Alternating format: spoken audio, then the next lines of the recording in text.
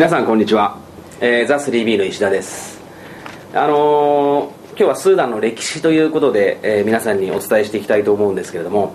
あのー、まあ、前回はそのスーダンの基本情報ということで、まあ、簡単な触りだけを、まあ、さらっとアウトラインお話しさせていただいたんですが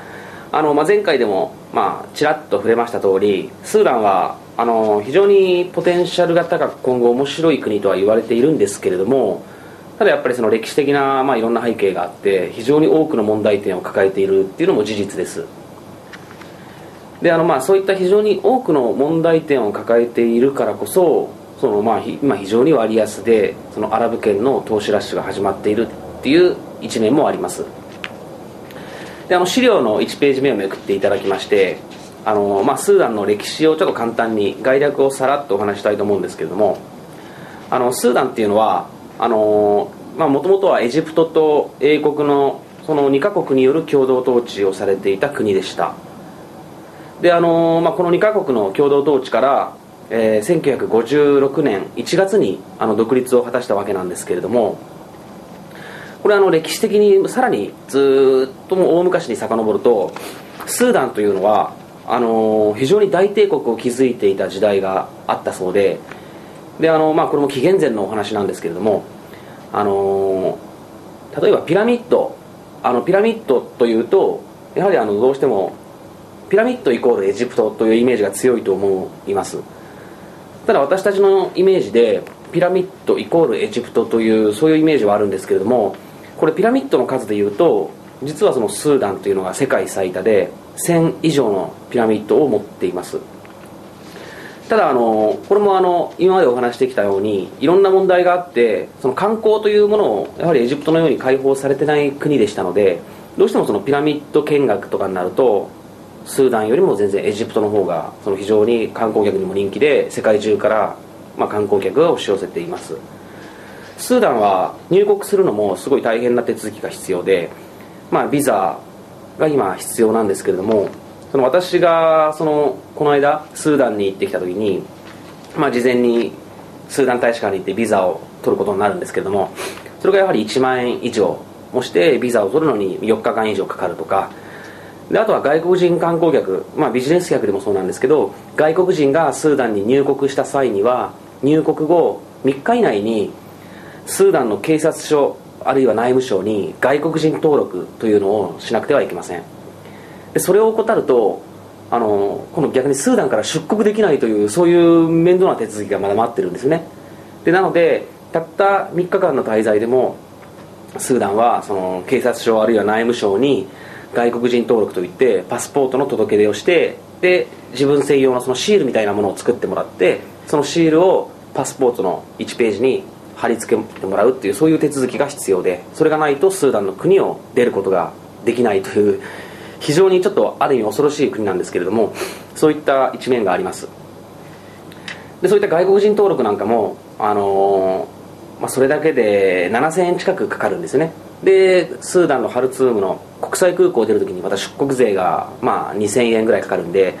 スーダンという国はもう出て入っていくだけで結局2万円ぐらいのコストがかかってしまうというそういう国です。でまああの話を元に戻すんですけれどもスーダンはイスラム教イスラム教っていうのはアラブ系ですよね。でそれとキリスト教非アラブ系っていうのがあの混合されている国ですね。で主に北部がイスラム教徒南部がキリスト教徒ということで南北対立がずっと長く続いている国です。でそういったあのーアラブ系と非アラブ系のま違った宗教の違った民族による南と北の対立がずっと長引いてましてでそれがダルフル紛争という形で長い間内戦が続いて今国際社会で非常に問題になっています。で次のページをめくっていただきまして2ページ目なんですけれどもダルフル紛争についてちょっと詳しくまたご説明を加えたいと思います。でこれはダルフル紛争というのは、まあ、あの現在でも進行中であの特にハルツームの、えー、東部分ですね。主にチャドと中央アフリカの国境近辺をスーダンのそのダルフール地方と呼んでいます。でダルフール地方には貧しいその黒人たちの居住区があるんですけれどもそういった貧しい黒人たちをそのアラブ系の政府が虐殺を繰り返しているというのがダルフール紛争の根本的な問題になっています。であのアラブ系がジャンジャウィードというその民兵の軍隊があるんですけれどもそのジャンジャウィードがそのスーダン政府に支援されているっていうことで国際社会から非難されてるんですね。でスーダン政府はジャンジャウィードとスーダン政府は一切関係ないということを言ってるんですけれどもここは明らかにそのスーダン政府アラブ系のスーダン政府がジャンジャウィードを支援しているんじゃないかということが今国際社会で問題になってましてそういうのが背景となって欧米からの経済制裁を長く受けています。でそういったジャンジャウィードというその、まあ、アラブ系の民兵がそのダルフール地方に侵入してダルフール地方に居住するその貧しい黒人たちを、まあ、無差別に虐殺してでそれを恐れた貧しい黒人たちがダルフール地方からそのどんどんどんどん東の方に避難してでそれでスーダンという国にもういられなくなってチャドとの国境近辺に難民キャンプが今できています。でチャドとスーダンという国はこれまた歴史的にあの仲良くない国なのでチャド側はそれを受け入れられないのでダルフール地方というのが今大きな問題になっています。であのこういった問題を抱えるスーダンなんですけれどもスーダン政府もこういった国際的な問題を抱えていることは自分たちの国の経済発展に良くないっていうことを分かっています。で分かっているのでダルフール紛争は少しずつ政府がこの沈静化をする方向で向かってるんですね。ただやはりこのスーダンという国非常に大きな国なんでやっぱり全てを監視することができません。でなのであのこういったダルフール紛争っていうのが世界的な問題に発展した後で、えー、国連とかあと EU であとはあの AU といってアフリカ連合アフリカン・ユナイテッドなんかもこのダルフール紛争の国際的な解決に向けて今平和維持軍とかあと監視団とかそういったあの平和維持軍の軍隊をもう数万人単位で今ダルフール地方に派遣してえー、ダルフール紛争のその沈静化に向かって動き始めています国際社会が。ただこのあのこの資料にも書いてある北ダルフール西ダルフール南ダルフールこの3つの地域を合わせてダルフール地方っていうんですけれどもこの地方の面積そのものがフランスと同じサイズがあるんですよね。フランスという国と同じ面積があるだけのとにかくもう広大な国土なんでここに数万人単位の軍隊を派遣しても結局なかなかその全てを監視することが不可能なんですよね。でなのでまあダルフル紛争は沈静化する方向には向かってはいるんですがやっぱりこのここに居住する人の数が多いのと面積がフランスと同じぐらいの面積があるっていう広大な面積なんでそれを全て完全に沈静化するにはすごいやっぱり時間がかかるんではないかという意見もあります。でこういったダルフール紛争の今平和的解決に向かって国際社会が目を向き始めたっていう事実はありますんでこれは確かに沈静化の方に向かっています。でついあの数日前、えー、4月の終わり頃流れたニュースなんですけれども日本という国もこのスーダンの経済支援に関して今まで26年間経済支援をストップしていたんですけれども来年以降スーダンへの ODA を開始するという福田内閣の、えー、ニュースが流れました。でそういった今世界の国々がこのダルフール紛争というところに目を向き始めてでそこを沈静化することによってアフリカ全体にその平和を影響を及ぼすっていうことが予想されてるんで今ここにすごい勢いで世界的なそういった経済支援とかいろんなものが目が向き始めています。平和維持軍とか。でなので、まあ、ダルフル紛争をはじめそういったスーダンの国々のこういった平和的解決、まあ、資料には平和的解決なるかと書いてあるんですけれども平和的な解決の方向へは向かっていると思います。ただそれがどのぐらいの時間を要するのかはちょっと読めないところです。で資料の2ページ目次めくっていただきましてこういったスーダンで特に首都のハルツームというところはここはあの2つのナイル川が合流する地域でアフリカ最大の穀倉地帯と呼ばれています。であのビクトリア湖から流れていく白ナイルというナイル川とあと隣のエチオピアという国のタナ湖という湖から流れてくる青ナイル。2つのナイル川白ナイルと青ナイルが合流するところが首都のハルツームとなってそれがナイル川がずっと北上してエジプトのアレクサンドリア地中海まであの流れていくというそういう川ですナイル川は。でそういった青ナイル白ナイルが合流することによってあの非常に高い栄養分があるということが言われてましてここはいろんな作物が育つ世界有数の大農業地帯と言われています。でそういったあの青ナイル白ナイルが合流することによってそういった灌漑農業が発達する要因はあるんですけれどもなんせスーダンっていう国はあの貧しい国なので大規模なそういったあの可能性のある農業地帯を抱えていてもそのダムとかダム建設とかあとは大農業大規模農業化とか機械化とかそういったことが今までできなかったんですね。